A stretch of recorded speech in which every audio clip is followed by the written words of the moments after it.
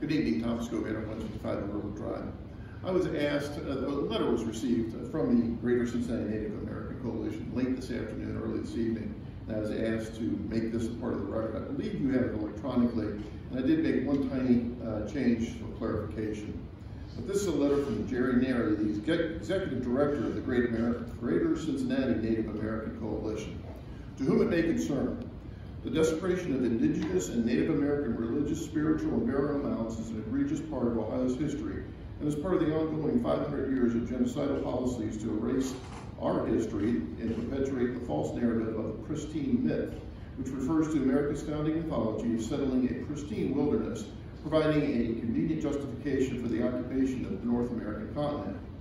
The Greater Cincinnati Native American Coalition encourages the City of Loveland and its leadership to commission a new survey based upon the recommendation of that cited, excuse me, that cited the evidence of a Native American mound in 1849 on the site of the parking garage. We are in contact with other national Native organizations and are sending a summary of how Loveland proceeds with this matter to the National Congress of the American Indians in Washington, D.C. We are hopeful that the City of Loveland and those elected officials will do the right thing and work towards protecting not just the religious rights of mainstream Ohio, but of all people in Ohio.